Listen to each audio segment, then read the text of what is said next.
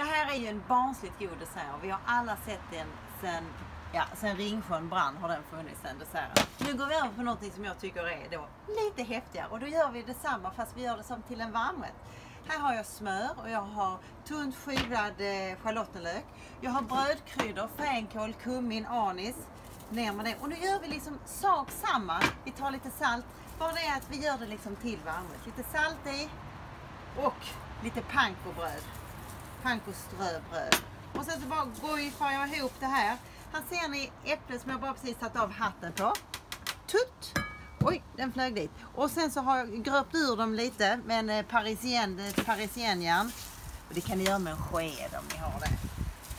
Så gojfar vi ihop det här och så lägger vi det där i. På med hatten, in i ugnen. Lite, lite olivolja på och sen är det klart.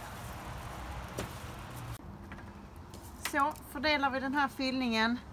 Och den här fyllningen är så god. Kan ni tänka er alla brödkryddorna, kumminen är dominant, fänkålen, saltet, schalottenlöken och så tillsammans med det här syrliga goda äpplet.